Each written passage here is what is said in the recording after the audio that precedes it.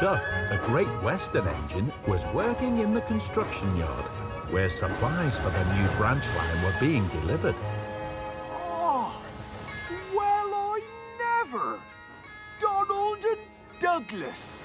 Haven't seen you two around in a while. We only went to collect some more rails and sleepers. Hi, so you can build some more track, that's all. well, I don't know, but it feels like you've been gone for ages. Cheerio! Oh, oh uh, cheerio! Uh, uh, don't leave